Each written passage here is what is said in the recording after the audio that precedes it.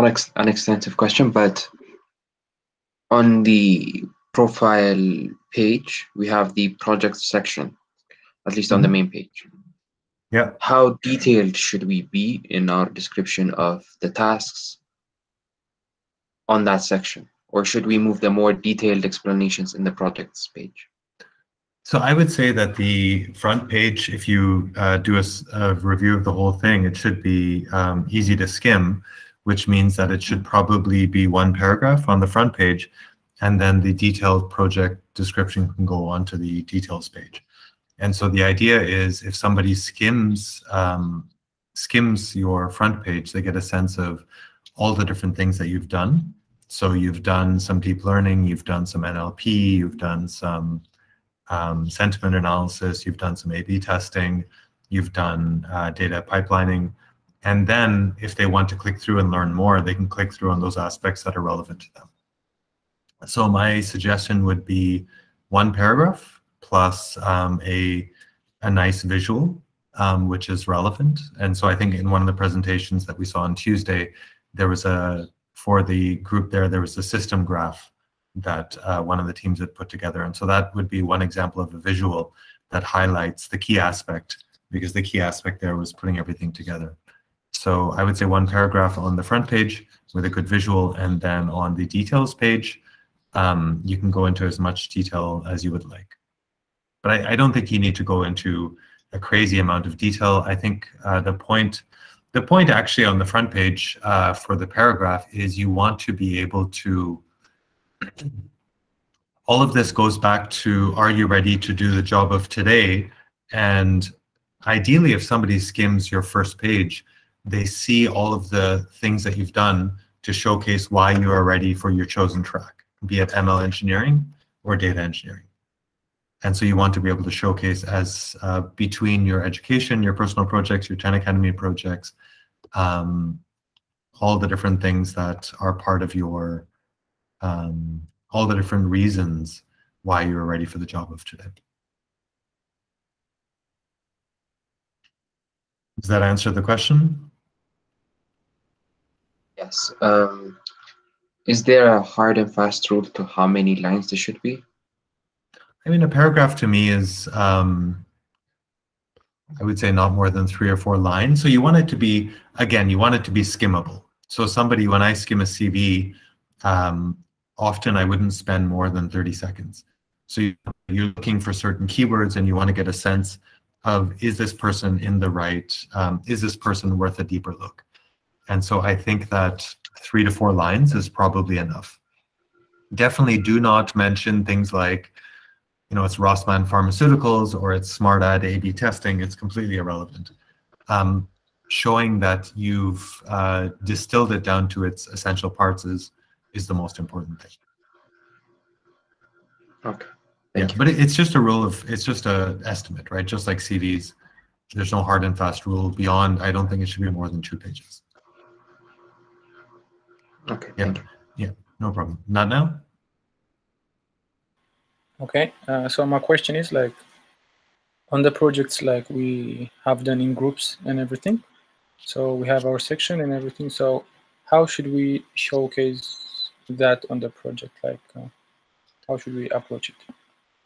So I think that's a good question. I think it's just like when you when you are working, you won't be doing every part of the job yourself. But I think it's good to say. So imagine um, let's take let's take 10 Academy as an approach. Um, so if I'm describing what we do, then I'm I'm happy to say this is what 10 Academy is doing, and I'm part of the team that's doing it, and I can explain. I should be able to explain everything that the team did, but I should also say that I'm not the one who's designing the technical challenges. So I can explain what my role is and what other people on the team what their role is, but um, I think the same approach there is fine. So as a test, you should be able to explain uh, for these 10 Academy projects what exactly what was done and what everyone's role was, or what your role was. But you should understand, even if you didn't do the work yourself, you should understand um, how how it worked. I think that's important. So as an example, it's fine to say this is I, you should say that I was a member of a group and this is what our group did. And we went from, uh, we set up this following uh, front-end web system and we designed a uh, Kafka service, which was triggered by Airflow and that stored data in this database and give people an overview. And you can say my specific contribution was helping out in areas one, two, and three. And my colleagues were actually coding uh, five, six, and seven. And if they ask a question about how five, six, and seven were done, you should ideally be able to explain, if not every line of code, you should be able to explain the approach.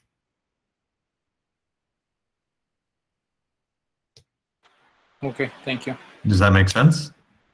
Yes, it does. Okay. So for everyone who's just joined, we're doing this pure Q&A. So um, yeah, just raise your hands, type your questions.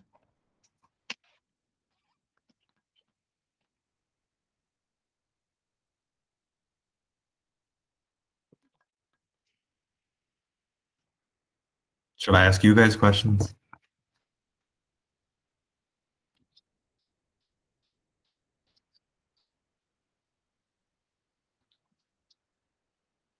No? I mean, you, you guys have come for the, you, you guys have come here for the Q&A without Q, so you're just waiting for the A. That's also a, a strategy. Um, okay, let me ask you guys a question. How, for those of you, how many of you um, don't feel super comfortable in English? So maybe just put up your hand.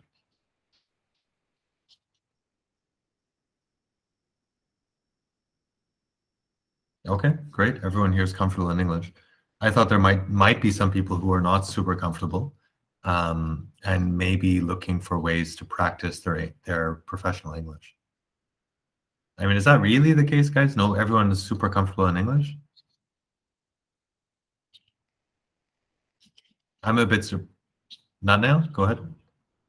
Okay, I think the question is not clear for me. Like, is there another English beside this, or what no, kind of no, no. Are, there's only one English, but the level of comfort with English. Yeah. Okay. Personally, I think I can communicate fairly easily, and I can express my ideas and also understand. Uh, if there are other fields I should improve, uh, maybe I haven't. I didn't know about them. But are you comfortable if I? Do you worry about your ability to have a interview in English or written communication or other sorts of discussions? Do you worry about that? No, I don't. Okay. Is there anyone here who's worried about that?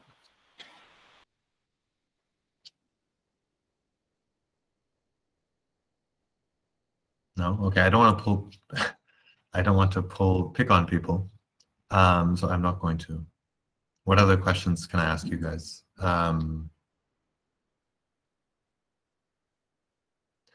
So what I would like, I, I thought that we would have some questions about, and this is somehow uh, a link with the T-shaped learners. I thought we would have more questions about um, where do these, where are we going from here? Um, are we, what do we do if we don't know all aspects of the, the pipeline or how do we explain the gaps that we have? Um, where can we pick up missing pieces of knowledge, for example, SQL? I thought we would have more discussions in those in those veins.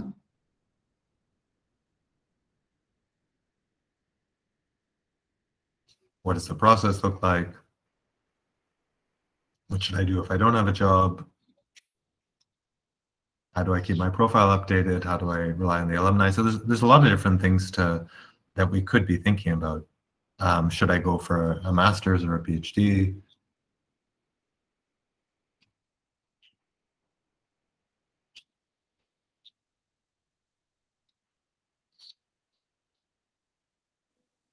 Same. Sorry to go again. Uh, hopefully, I'm not taking anybody else's chances. It's, um, it's, always, it's always the same person. My question is about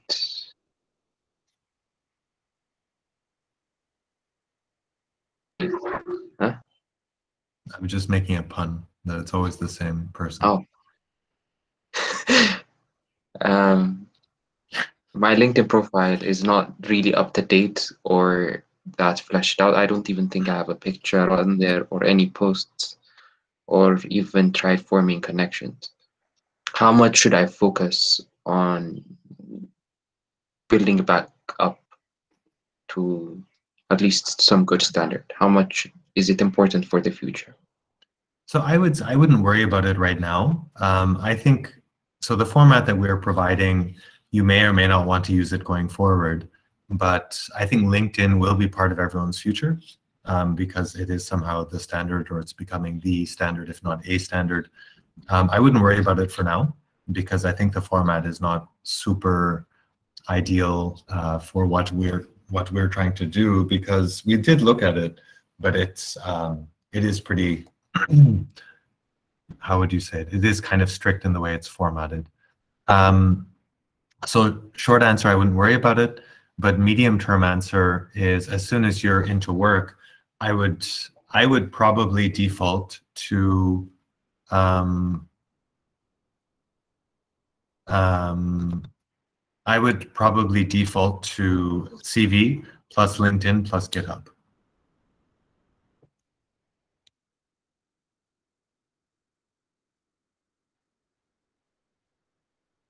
But you don't need to worry about that right now. So for now, work on this. You don't need to worry about your LinkedIn. And after that, I would default to CV plus uh, LinkedIn plus your GitHub. Kate?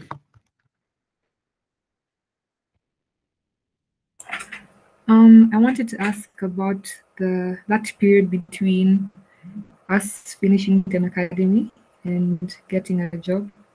It's pretty uncertain how fast you'll get a job. So do you, um, what do you recommend during that period? Like, should someone start freelancing? Should someone do short courses? Should someone, like, what are the things? Um, it depends on what your goal is, right? If so, freelancing is not a bad way to make a little bit of money, but um, so I've I think I've used this analogy before, and I would use it again. Freelancing, it's like it's like a relationship, and a, a full time job is like getting married. Um, freelancing is like Tinder. I don't know if you guys use Tinder in your countries, but um, it depends on what you're looking for. If you want stability, where you invest and the other person invests and you build something, then that's more of a full time job, and it takes it's harder to find a long term partner than it may be to find a weekend partner. So I, uh, my suggestion would be that you um, gap, you try and plug the gaps that you have in your CV as much as you can, and uh, work towards a full-time job. Because I think uh, for each and every one here, you were able to get a full-time job, and I would. We had a, a pretty negative experience with trying to get onto freelance platforms, um, get people onto freelance platforms last year. We thought we would try it we actually were completely wrong. We thought that it would be a good way ahead and that people would be able to um, to do useful work. And one of there's two reasons we were wrong. Actually, more than two reasons. One is that um, it's very, very, very hard to get started because if you have no track record, then people don't uh, give you a chance. And the second, and this is probably, well, the second is there's a lot of time wasters on platforms like Upwork. And so it's difficult to do a good job if you um, if your employer doesn't has never defined what a good job is. So we had somebody who got put into a position where they had sort of a number on their head. I think the person said, look, I'll give you $500 to do this short task. Sounds great, right? So the person starts doing it. And then the person kept adding on more and more and more and more work and said, if you don't do this, then I'm not going to pay you or I'll give you a bad review. So, I mean, that's not always the case, but they also exist. And the third is, I don't think you'll necessarily learn as much at the level that you're at um, doing freelancing because the types of works that type of work that you will be able to do it's more likely i mean i'm not saying i can't say that it's 100% but i would say you're more likely to learn uh, in full-time work. Now, what does this mean? So what should you actually do? Um, I would I would look spend a lot of time looking at what industry is looking for. We will continue to provide job opportunities. We will continue to try and match you. We will put together a alumni platform. Uh, Yatiana is working on that. It won't be uh, Rocket Chat, but we'll put together an alumni platform to allow us to stay in touch. And I would, uh, yeah, I think one has to be ready for uh, three to six months of full-time work to get a full-time job. For some people, it might go very quickly. For some people, it might be less time than that. But I would focus that time and energy on um, learning more and more about exactly what industry is looking for and uh, skill plugging the gaps that you might have.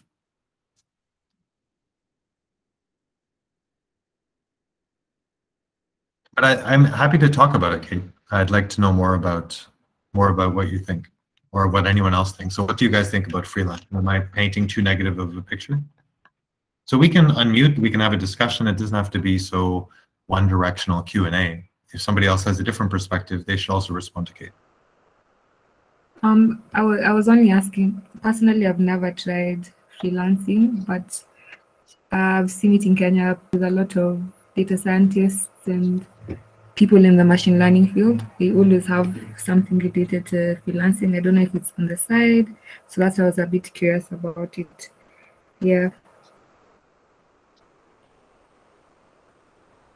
So what we've seen is that it's very hard to get started. Once you do get started, you can do well. But um, I don't know. I think it is. Uh, I still, it. I think it's maybe more of a philosophical approach. It's a little bit like relationships. Do you want to build for the longer term? And I would say long term is you should plan to do, be at your first job for at least one year or are you more interested in probably short-term work, earning a little bit more money per job? But um, yeah, it's also different. You can do many projects in parallel, but you're also at the mercy of many different clients. And that's not always uh, easy. So I would, I, I would, I mean, you guys are free, right? That's the approach that we've set up. You've come for training, we've signed a contract. So once you're working, then there's the pay, uh, the pay it forward model, but we don't own your time. We're only here to make recommendations. And uh, having tried this out, um, I would recommend that you uh, put the effort into a full-time job. Um, another question. Uh, okay, from the alumni of the 10 Academy program, what trends have you noticed to them after they get jobs? Like, do they end up doing a master's? What's what's the trend out the there? Is it relevant? Uh, yeah. Um, I mean, I I would ask everyone why they want to do the masters. Um, what what part of the masters is really of interest to them? What's what's the goal? So I wouldn't blindly. I think sometimes doing graduate work can also be like a job, or it's a place to be, or you can tell your grandmother that I'm doing my master's or PhD, and everyone it's kind of well understood. Um, so I think that that part is, uh, yeah, I think that that part is there. Um, what are the trends? So I can, for batch three, it's probably early to say. We recommended most people um, stay for at least a year, and we only started getting people placed three months out. So it took us, it took us a little bit of time to figure out what industry was looking for, and that's we've integrated a lot of those lessons into batch four. So batch three training is uh, was different. Um, it was a little bit less industry focused. So people are getting to the nine month time frame. Some people are in the probation period. Some people's uh, jobs didn't uh, they didn't work out. So people got six months of work and then the company changed priorities, or for whatever reason they weren't continued or their contracts weren't renewed. So there's a whole, and then other people have been promoted. Some people are doing really well. Some companies are coming back and saying, we want more. So there's no um, well, I, would say the one trend is the people who demonstrated, and I always say the same three things, or maybe four things. There's work ethic, there's uh, self-teaching, there's curiosity, and there's the ability to help uh, others in your community. Those same skills, the people who exhibited those best in as part of the training, they've also, I would say, uh, have done have done best in terms of their work. I mean, people don't necessarily change. You can pick up new habits and you can expose people, but um, the same people who are who weren't able to get it done in stage in the training phase, th those trends by and large uh, they continued. But most people are doing really well. I mean, we're we're here because we also have really strong profiles from employers. Trainees are happy. Um, so the question of do you want to do a master's or not? It's up to you. But I would really think about why do you want to do a master's? Um, I'll share a, so I had a discussion with somebody, we've been talking to different people from industry to try and learn a little bit more about what they're looking for. And he, I think I've, I might have told you about this guy. He worked, uh, he's head of a machine learning team at Paystack slash uh, Stripe, worked at uh, Facebook before, worked at Google. I think he worked at Microsoft too. And he, I was, I was talking to him about uh, coding versus math. And he was saying that in his opinion, the mathematical background is only relevant for a, a small subset of people. Um, and that's his experience at these enormous companies. So at a smaller company, um, there's the example that Brenda gave. She did her PhD in physics, um, has a very, very strong math, math background, I think in many ways similar to, similar to Yebabel's background um, is that the best use of their time as opposed to really developing another craft or another skill? So I think that's a that's a decision that you need to make, and this is where I would encourage everyone to think about their life priorities. And if you if you want to stay employed, then getting a master's may not be the most time effective way to gain those skills. So I, I would just think about that and each person will have to come up with their own answer. Okay, thank you. Yeah. Azaria, I see your question. Um, well, I don't, I don't know. It's hard to say. It depends on how much time or energy you put into it. Um, I don't see that as something negative. The one, I mean, so maybe I can add one thing to what Kate was saying and also, or Kate's question and Azaria's question. One common thing that I've heard from many, many, many many people, is that they like seeing contributions to open source projects as an example of people who are doing really well, of people that they want to hire. So if you make some contribution to a well-known open or to an open source project and you can showcase that as part of your GitHub or your CV or your your profile, then that is uh, that's appreciated. And so that's something that if anyone wants to do something, then try and get involved in uh, an open source project. I've heard that from at least four people in completely, complete four independent, completely independent people in obviously in the same industry, but working at different levels of the industry. So Azaria, I don't know. It depends. If I don't think it'll hurt you. Um, yeah, I don't. I don't see that hurting you. But I think being a being a part-time entrepreneur is um, I don't know if being a part-time, to what extent being a part-time entrepreneur is possible.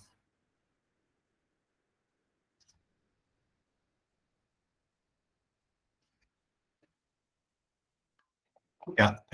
So who's next? Steshi? Stella? Uh, okay. I want to ask uh, three questions in one. Uh, the first one, I'm scared to ask, but let me just ask. So I was I want to ask about English just because some people will be in those positions where they'll be hiring in the near future. I'm just wondering if if a typo should be a, good reason to actually not speak to someone. If uh, if their profile is good and just a typo would make someone not uh, have an interview. And uh, uh, I also wanted to ask, yeah, what happens if you don't get a job? after after Ten Academy. And then uh, so in this That's alumni two. What's what's your yeah. third question? Okay, yeah. So in the in the alumni network, I was just wondering if it's something like Rocket Chat. So if I want to talk to Arun, if uh, I can just go and type a message and reach out to Arun, or how do we keep in touch? So you always have my email. I'll take the last one first. Um, you always have my email, so you can always send an email and reach out to me. Um, we're currently, and Yetiana is working on this. If any of you are interested in helping to develop this, or I mean, develop it is too strong. We're trying to figure out whether Discord or Telegram, um, so that it'll be one of, it'll be a similar chat platform. It'll be a similar chat platform. It'll be a similar chat platform to that. Um, right now we're using Slack. Slack has disappearing messages. So we will use Discord or Telegram. And the whole point is that we can stay in touch. Sorry, just give me one, one second.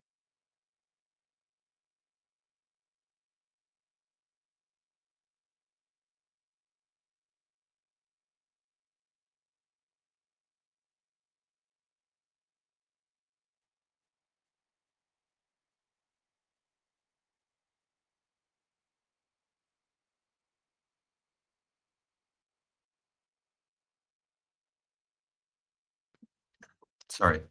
Um, so that's, yeah, I, I would like us to stay in regular contact, but even more than that, I would like each of you to stay in regular contact. Um, because I, I think that you will benefit a lot from, could be sharing job offers, could be asking questions about how do you approach A, B, or C. Um, we want to be able to share training, job offers, and I recognize, having been a student as well, that one tends to stay in touch with the same five or six people. But um, yeah, so that's that's what the alumni platform will look like. Your first question. Um, so let me ask you a question, uh, Stella. If you were hiring somebody and they came to the interview with a food stain on their on their shirt, what would you say? Uh, I think that's not a first good impression. So I, that's what I would say as a typo as well, right? So you would, in the back of my head and your head, you would think, well, didn't they look at themselves before they came? And of course, it makes no difference on their ability to deliver anything, but it's it just shows that there's an attention to detail which is missing.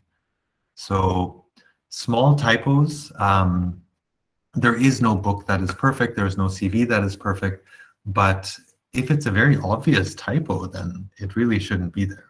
And this is where you have you should be asking your peers to proofread your stuff and you might miss something very obvious. So I wouldn't worry too much about getting it exactly small details perfect, but um, there shouldn't be any obvious typos. And to your third, your second question, what happens if you don't get a job? Um, so tell me more about that question. What what are the possible what are the possible answers to that question? Uh, should, should I just uh, keep hoping that uh, someday uh, a job will pop up? From or, where? Uh, from where? from uh, from uh, you guys. Mm-hmm. That's one option. What other options are there? Should I just go back to school and uh, make a good use of my time? Okay, that's another option. Uh, should I venture into another career? That's a third option. Uh, I'm out of options. You're out of options. Can anyone help Stella with some options? So either we find her a job, she uh, goes back to school, or she changes careers. Any other options?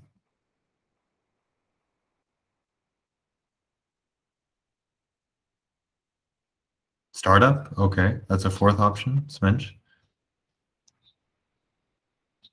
Is, is there not one really big option that's that's being missed? Apply for a, a job by yourself. As a Whitlam, yeah?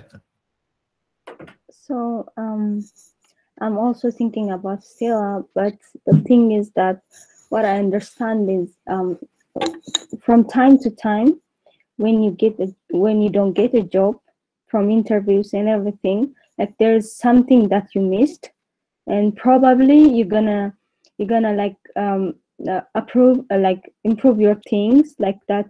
Uh, for example if you if you miss on one interview and you didn't get a job on that interview you'll learn something and then improve your skills what you have like you haven't worked on and what the company needed. Then like improve through times. So i, I i'm i'm thinking to do that within time, if this is the career I'm I'm looking forward to work on, within time I'm gonna improve through skills and somehow I will get the job. Okay. Thanks, uh, Bezawitlam. I think that's an important point that you have to keep working on, even if you go to an interview and you don't, you're not successful, um, that you can keep working. But Azaria and Deborah have made a suggestion um, which you hadn't mentioned, Steshi, which is to apply for a job by yourself. What do you think about that suggestion? Uh, yeah, that, that, that's that's one of the options. But uh, if like both sides are not working, I'm sorry? if both sides are not working, if you're looking for a job, you're not getting it. Uh, neither is uh, is any job coming from the side of 10 Academy. Okay, but I, I, this should be uh, number one, right? Everyone should be actively looking for work. So as much work as as I do, we do, the team does, 50 people looking for work will always be more effective than one person looking for work. So each of you should be looking for work. We will help and we will try and put everyone into contact with different employers, but everyone should be looking for a job by him or herself. That's that's number one. What happens if you don't find a job by yourself? I would be ready. And so we exist because we think that within within six months of looking, anyone here who's motivated will be able to get a good job, either as a data engineer or as a machine learning engineer, or in a adjacent field. Maybe it's called something else wherever you go. But that's that's our whole premise. So we we we believe that's possible. Otherwise, our whole model is broken.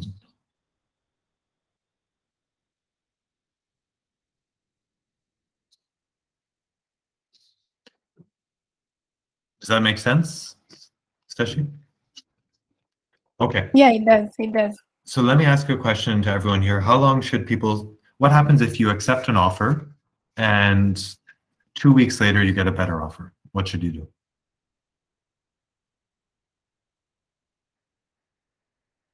It's not really a question about profiles, but nevertheless.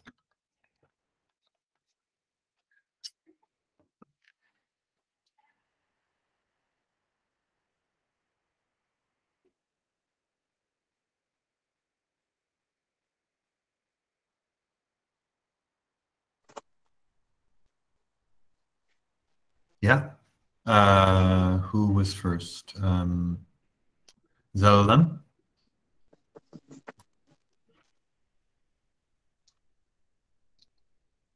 Zelalem? Yes, can you hear me? Yeah. Okay, I think you should continue with the work in hand because uh, two weeks is a very short time. So by that time, you have already signed a contract, and it's about uh, trust. So I think you should continue because even before leaving, I think there is some time. Yes, you should give a notice ahead of some time if you are uh, going to leave. So even if you leave, I think uh, during this notice time, you you might also miss that opportunity. Mhm. Uh, of course, it may depend on the uh, your situation, but to make it generalizing, I think maybe stay on the work in hand. Mhm. Elias? Okay, thanks. Like I have similar experience. Like I've started working at a company and like within a month or something, I got another offer. But like if you have some interest in the project you are working on, I think it's better to stay a little bit longer and to with other people and other stuff can also take time. So for a little bit of increase in salary or something, changing companies, I don't think is a good idea. Does anyone have a, a contrarian viewpoint? Does anyone disagree? Or does anyone have a question about this? Yeah, same. When it comes to offers as long as it depends on maybe the nature of the relationship. If obviously if the offer, the first offer came through at least okay for this scenario let's say it came through 10 academy and the second offer came it's just through your own search. For the first one the negating on the contract is not to you but to other people. So it's too high. And since you've made a commitment to both organizations it's better to stay. But at some point you'll be faced with a situation where there are just two companies and at the end of the day they're trying to extract the most from you and you're trying to extract the most value from them and if the cost of just terminating your contract and just joining the sec taking the second offer is minimal you're supposed to do what's best for you there is no commitment that you have to an entity that does, at the end of the day, not entirely care about you as a person growing it or whatever. Mm. I think that covers how I feel. Okay, anyone else? Kate? Um, I'm thinking that if that said company found someone who um, could enable them to cut costs. Maybe someone who could do your job at a cheaper cost, they wouldn't hesitate to let you go. So I think I'd take the other job for that reason. Okay. I don't know. How should we go about it? Anyone else? Beza Whitlam?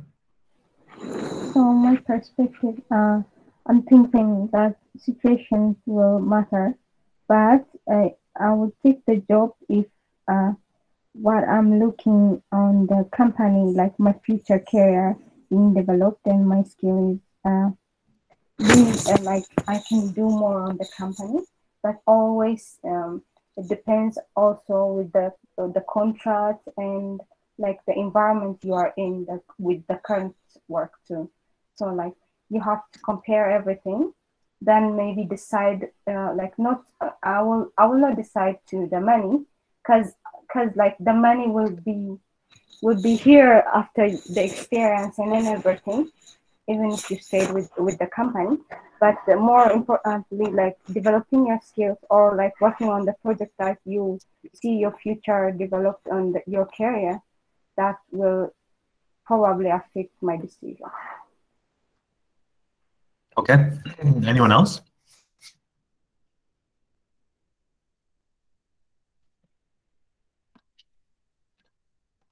So, yeah, Michael, Michael Tickler. Uh, yes, uh, I think it depends. Uh, it depends on uh, on how much job security they both give. So if one of them gives a very good job security, I'll go with that.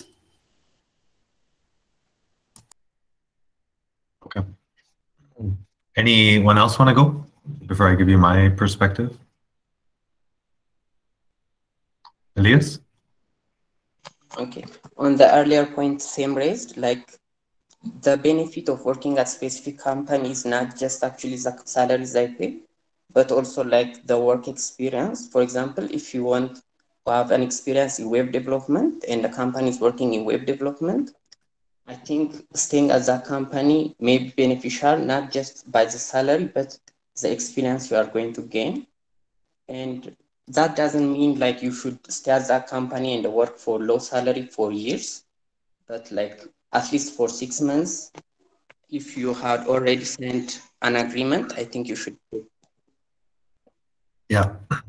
No, I think that summarizes very nicely what I would recommend to everyone here. I think everyone for their first job should be ready to stay at that job for one year, but in all cases for at least six months. So I think it's for most people, it's their first, uh, it's their first real full-time job. And there's a lot that you will learn by following a project through an entire life cycle.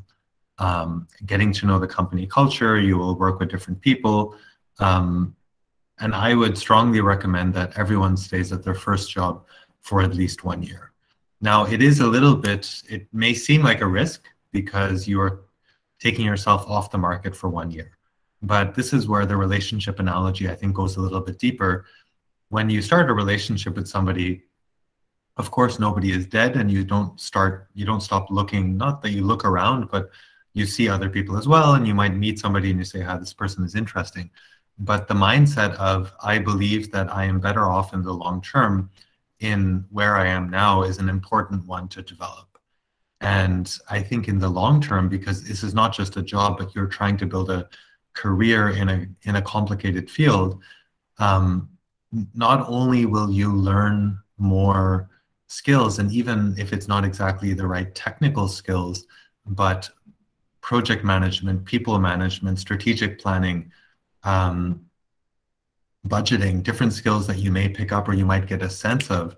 Um, and you may only get those skills once you develop a trust relationship with different people. So my strong recommendation would be that um, you stay for one year and at the very, very minimum for six months. Um, to Saim's point, and I think Elias made the same point, uh, before we place anyone into a work through us, or if it's a quote unquote friend of ours or a contact of ours, we will ask explicitly to make sure that we're on the same page, that the expectations are clear on both sides. So that, um, you know, you don't have to say yes. Nobody has to ever say yes to any job. But once you do say yes, then there is a um, spoken or unspoken obligation. Because it's true that somebody had mentioned that the company wouldn't hesitate to fire you and get rid of somebody, just hire the next cheaper person. But actually, I think that's a very pessimistic and not, not the correct viewpoint it costs a company a lot of time and energy and support to get somebody onboarded. And it's very detrimental to a company to hire somebody and have them leave very quickly. And so, um, and it's not that companies are always looking. I think most uh, most organizations are, unless you really stop producing value, there is some expectation that you also um, keep going because at the end, companies, organizations are also made up of human beings. It isn't this um, pure optimization function. So I would say think about your first job and be ready to stick it out for one year. And I wouldn't worry too, too much if it feels like there are times in the middle, like maybe you're not using your time in the best possible way, because that'll always happen, even at the best places, at the best jobs. Um, that's always that's always possible.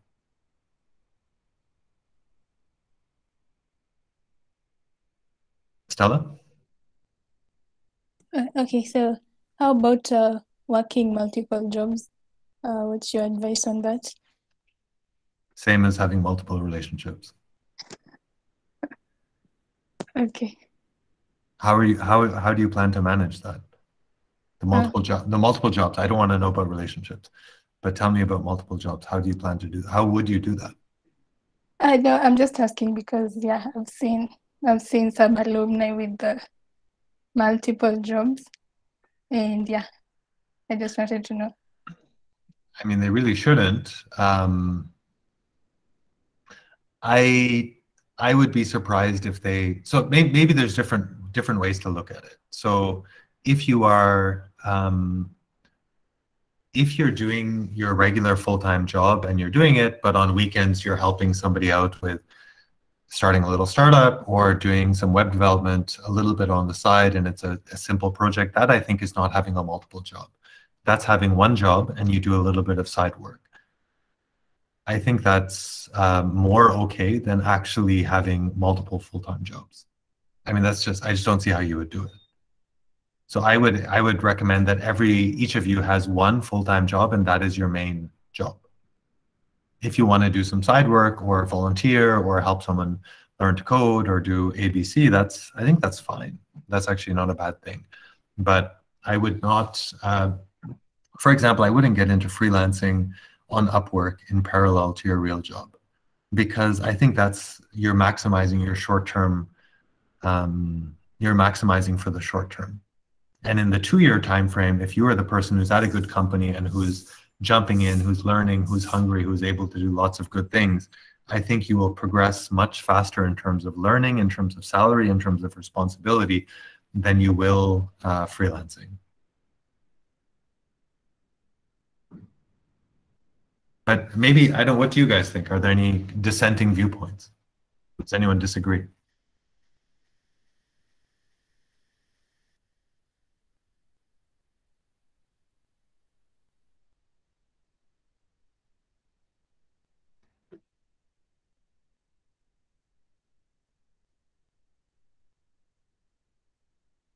Somebody have their hand up? I don't see it.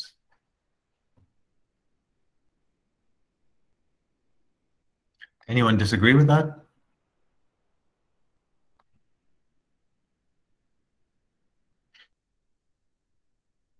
Yeah.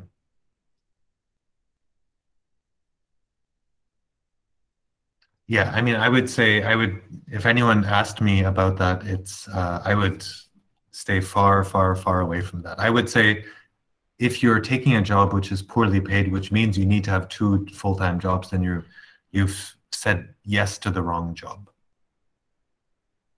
I mean, just to go back to the relationship analogy, if your relationship is so bad that you need to have a second relationship to fix what's missing in the first one, then you're in a bad relationship.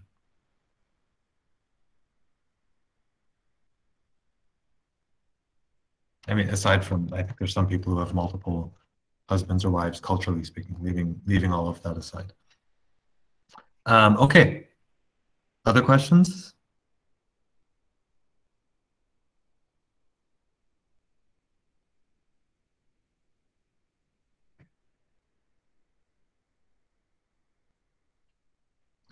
So I would stay, Bezawitlam, I would stay away from using templates. So there's two recommended uh, CV formats that we like, which are in these self-learning resources. It's linked in the careers manual.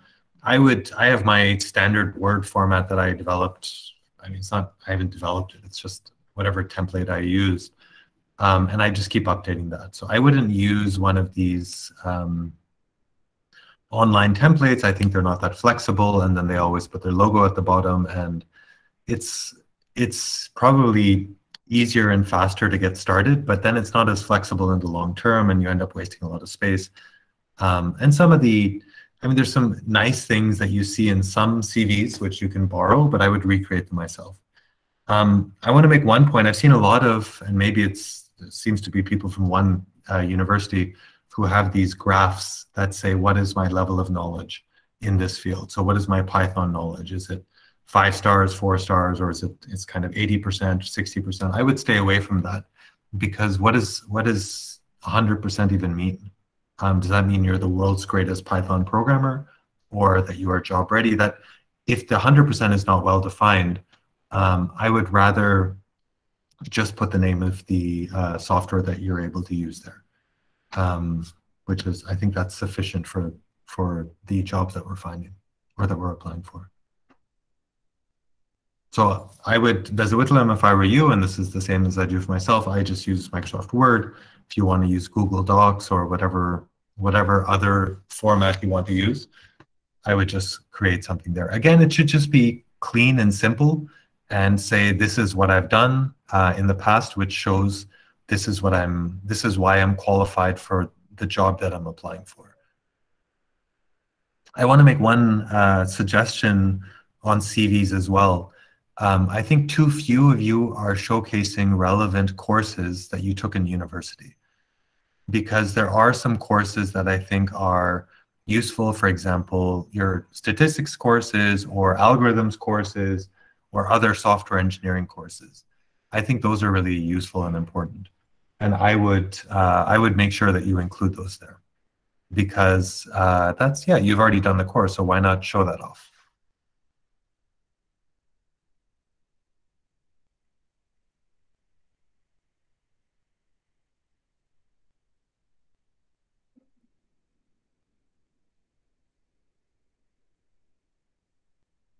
Any last questions?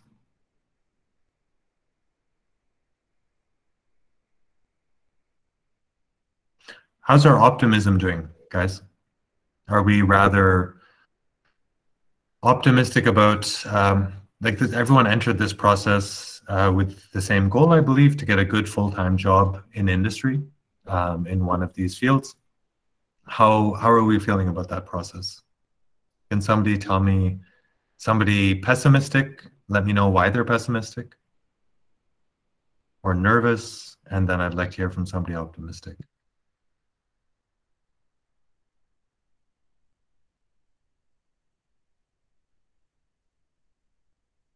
So who's not, who's pessimistic? Who thinks this is going to be really difficult? Or is nervous and says, oh, I don't know exactly how I'm doing what I'm doing.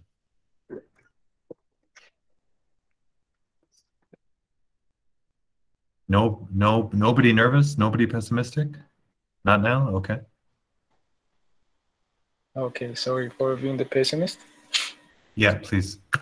Okay, so uh, in my opinion, I'm a, I'm a bit scared on the interviews and everything, even though uh, you and everybody advise us to be optimist, uh, to showcase our work, not to be scared, and to trust you and everything. It's nice, but deep down there are some feelings like uh, sometimes, for me personally, uh, I got a problem like I compare myself with the other trainees and everything. So uh, most of them are highly skilled and they do perform well. So if you see that, like sometimes I feel like I got no chance of getting a job. So that's my feeling I have. But sometimes I become optimist. It's like an emotional thing. Sometimes you feel good, sometimes I feel bad. Mm. So, so, so I, I think one thing that I'd like to say is I don't want irrational optimism, right? We're not we're not asking you to um, be optimistic with no reason. I think that what we're saying is do the work, and here's the work that you need to do. Um, we're available to support. You should practice. We'll give you guidance on how to practice, um, and then it is. Uh, yeah, I think the point that you make is to be a little bit nervous and frankly speaking, of course, everyone's nervous before they go for a job interview because if you, especially if you really want it, there are these unknowns that you have to control. Um, but I would say when it comes to, so I, I don't know if you were there in the the talk with from Phil Clay. Were you there? Not now. No, I was not. So he, um, so you, I, you can look him up if you don't know who he is. He's he was the head of a big institution and he was saying that he realized as he went through life, there are many, many, many more opportunities um, than there are uh, people to take up those opportunities. So it's actually not a, it's, there's no scarcity of jobs. There's no scarcity of opportunities. You guys are only 50 people.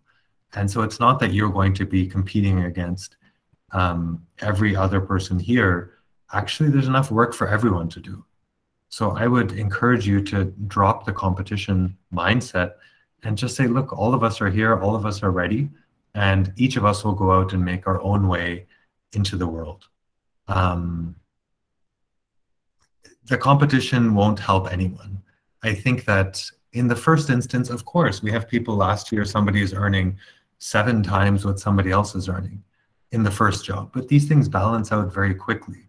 And if you take this long-term mindset and believe that there are enough jobs um, and have patience, so maybe it's not only about confidence, but a lot of it is, it is a lot of it is about patience, I believe. Then um, I hope you will believe that by putting the work in, trusting the system, being patient, and continuing to do the work, that things will work out. So that's the um, but this they the feeling of I don't know if it's feeling in competition or feeling like other mm-hmm. people know more things than you do. Unfortunately or fortunately, there will always be people like that, no matter where you go. And the better you do, then others will, you'll go swim in bigger and bigger ponds, and there'll always be someone else who knows something that you don't know. But I think there'll be things that you know that the other person doesn't know as well. Um, Toyin says, she's not good enough to get a good great job yet. So then Toyin, I think there's I would break it down piece by piece. What are you missing? Um, so when you say you're not good enough, let's get let's get very very specific. What are what skill are you missing? What approach are you not comfortable with? What do you need to practice? Um, and I our job is to give you that framework. Let's go from I don't know how to get a job to I'm not good enough to get a job to I need to get to this level in these three skills and then I'm ready for a job. And so, Toyin, that's our goal. Um, well, Bezawitlam, I would say that actually, um, yeah, I mean, there, I think you just, same thing, make a list, figure out what it is that you don't know. And then I think I would talk to your colleagues um, and figure out who's willing to help. And maybe there's something you know that the other person doesn't know. And so, yeah, I, I would, I would find a way. I think that nervousness will only go away once it actually works out. But um, nobody knows everything. I think it's more important than knowing everything. And I was I've used the analogy this morning on some of the one-on-ones I had, where just like a kidney doctor doesn't know everything about all the other parts of the body, but they have to know that the heart is there and what does the heart do, even if they don't know all of the ins and outs of uh, heart disease and heart function and heart surgery. But they need to at least know the heart is there, the brain is there, the bones are there, the muscles are there, nervous system, all the different pieces are there, and how do they fit together? And then the details, well, it's just not uh, as super important. And Toyin, I would say then you have to get to, I, I mean, I can't, I don't, we, I don't know what else. So Toyin, can you unmute? What would you like us to do?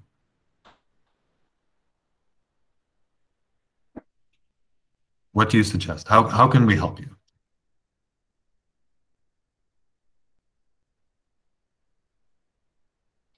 Toyin?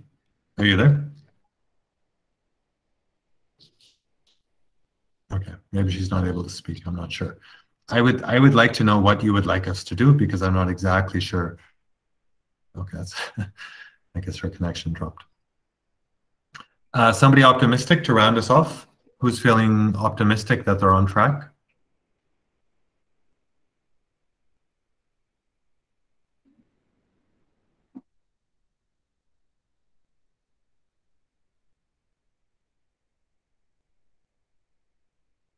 Okay, same. So same as so Smench. Okay, good. Smench, let's hear from you.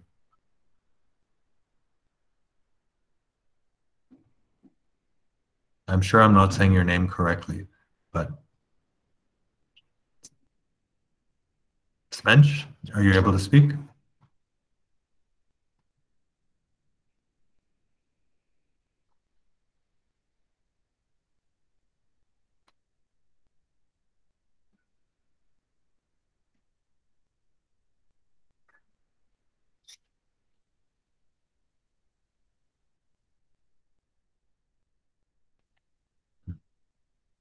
Okay, so Smench is also not able to speak. So Zelalem.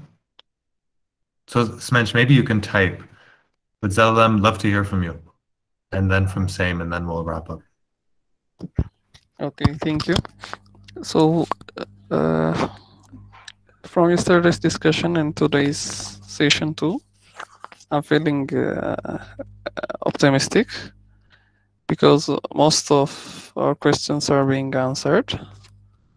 So uh, how much time you expect for a motivated person to get a job? So what did you during meanwhile? And also the other thing is, uh, I was also thinking meanwhile, trying the freelancing uh, sites and uh, as you said, uh, the biggest thing is like uh, getting the first, uh, you know, few uh, reviews, uh, great reviews, and you spend a lot of time. So rather than doing that, maybe getting better at the skills what the industry needs. So, and you telling us that you are very confident that we are uh, job ready. So the, I think uh, hearing this, I'm uh, feeling very confident. So after the training gets ends, I'm I'll try to upgrade my skills and gain some new ones mm. needed in the industry. So if we keep upgrading, there will be a good amount of uh, nice interviews. Mm. Great, thanks. Same. Um, how I saw it is initially I would have said pessimistic, but when I thought about my experiences so far, at least in the world of work,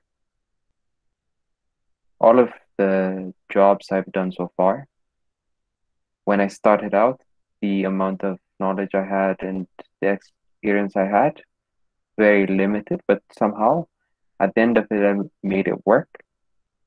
So there should be no reason why this can't be the same.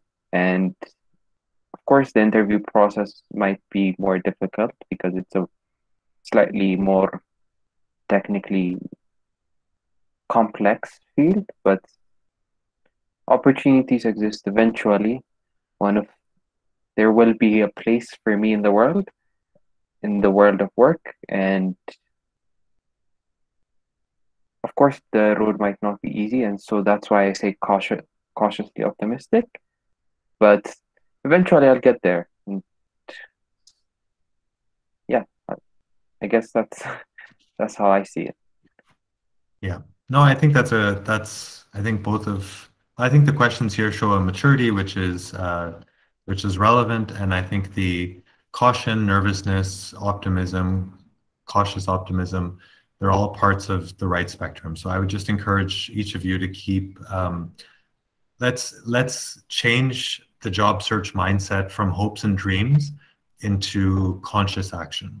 And I hope with the, the, the framework that we've provided and the ability to ask questions, we don't want people just to hope and dream, but to say, to know that I have to do the following six things and I can increase my li likelihood of getting an interview from, I don't know, 1% to 10% and increase my likelihood of getting um, through the interview from 5% to 50%.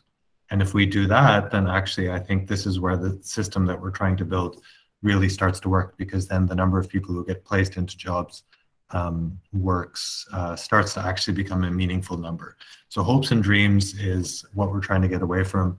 Take these steps, improve your chances. We can never make it 100%, but we want to make it into um, a non close to zero percentage.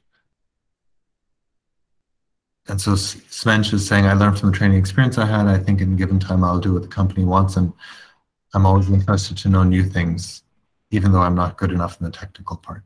So I think, Svench, you should get good enough in the technical part. Maybe that's instead of saying you're not good enough, um, what is it that you need to learn to become good enough? So I would just encourage you to do that. So I'm going to stop recording and take a five minute break.